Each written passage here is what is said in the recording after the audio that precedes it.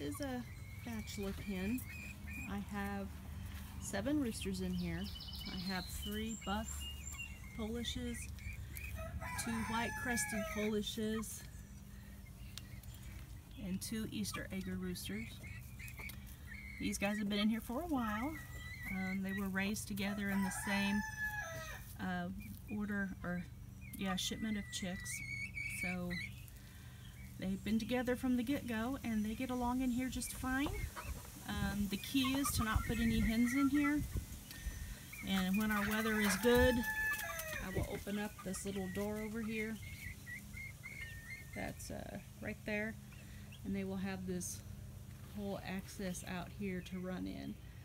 We got severe storms coming in this afternoon, so I thought it would be best to keep them in the safety of their pen and coop. But uh, this is their digs and their food and their water is up in here.